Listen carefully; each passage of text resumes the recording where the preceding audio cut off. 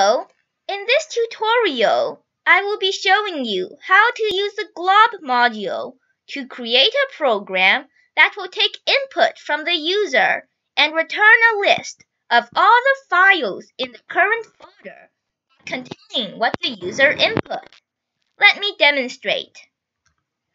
Over here, I have the code to my program. Let me run this. Over here, we can input any text we like. For example, if I input birthday and press enter, this will return a list of all the current files that contain birthday. Currently, I am in desktop, and here are eight text files.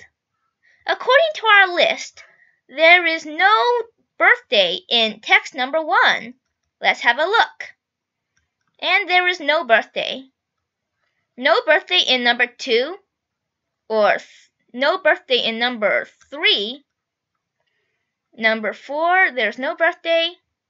But in text five, which is listed here, there should be a birthday in it. Let's have a look. Sure enough, we see birthday. There's no birthday in number 6. There's a birthday in number 7. And there is no birthday in number 8. Currently, I only have 8 text files. But imagine if we have millions of files, each containing important information, and one day you want to retrieve a specific piece of information but you forgot which file you contained it. It will be difficult to look through all the files to find that information. But if you can remember a small piece of that file, for example, you remember you specified your mom's birthday in it, you can simply use this program, type in your mom's birthday, and it will return a list of all the files containing your mom's birthday.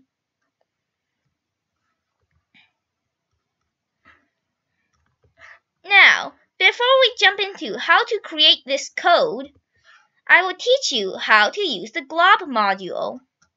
I'll create a new file.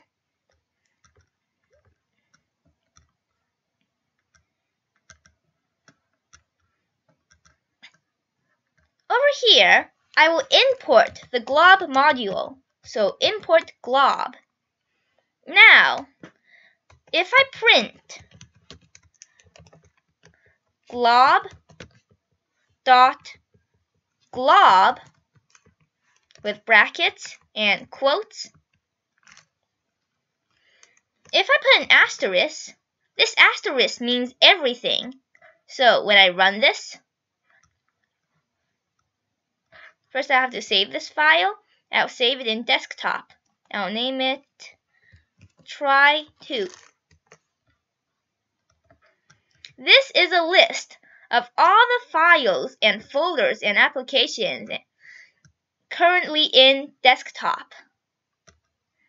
This is a bit messy.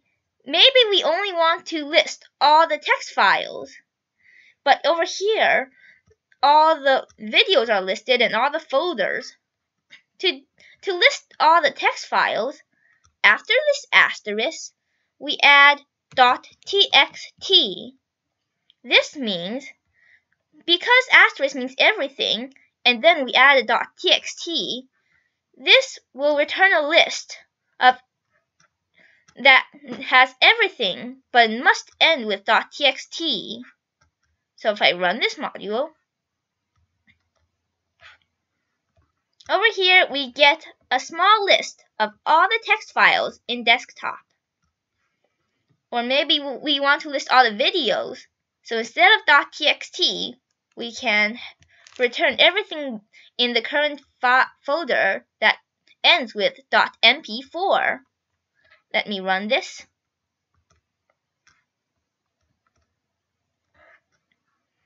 Over here, we have all the MP4 files in desktop. Now, we don't have to put this asterisk in the beginning. For example, if we want to list everything in desktop that begins with G, all we have to do is print glob.glob. In these quotes, we have a G and then an asterisk. So it has to begin with G and it can end with anything. Let me run this. Currently, we only have this games in desktop that begins with G. This asterisk can also go in the middle of two characters or more than two characters. For example, I want to find all the files that begin with D with an asterisk and ends with S. So this will return a list of all the files that begins with D, ends with S, and there can be anything in the middle. If I run this, and currently we only have this devices in desktop that begins with D and ends with S. Now that we've learned the glob module, let's go to this program. We import glob. Now, we define a variable called text, and we assign an input function to it. This will take input from the user and store it in this variable. Now we use a for loop. For file in glob.glob, as we just learned, this will return a list of all the files in the current folder that end with .txt. Now we have this open function, which I'm going to teach you how to use right now.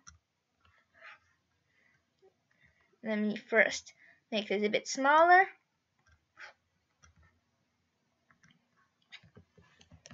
With this, with this open function, we can open any file in the current folder. For example, I'm opening 3.txt. But we're just opening it. We're not doing anything else. Right now, we want to read its contents. So we assign this read function to it. So it's a R in two quotes. Now we are opening this file and reading it we will store this in a variable. So with open 3.txt with the read function as f, I name this variable f. Now, all this is stored in f. But to get the, to get exactly what is inside here, we have to add this read function. So, if we type f dot read, it will contain everything that's in 3.txt. So if I print this, and I run this, I'll save this as try 3.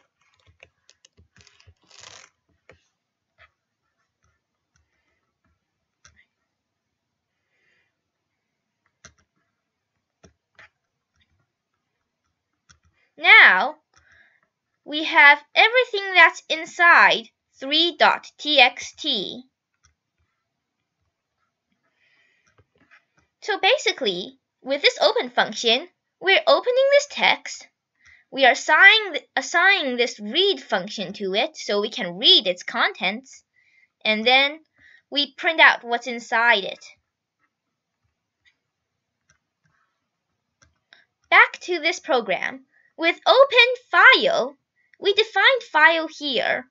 So it's the it's the file in this list of files in the current folder that ends with .txt. We open the file, we assign the read function to it, and we store it in this variable called f. Now we have an if statement. If text, over here we define text, it's what the user input.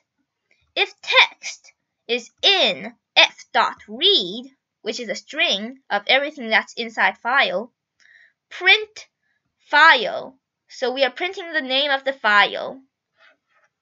So we'll run this again. This time, I want to find all the files that contain the word Bob. If I press enter, Oops, there are no files that contain the word Bob. Let me rerun this. And I will find all the files that contain, the word I. Over here, we have I in 1.txt, 3.txt, and 6.txt. This is the end of this tutorial. I hope you learned how to create this program. If you have any questions, please contact me. We can discuss the problem and hopefully I can help you understand everything you want to know. Have a nice day!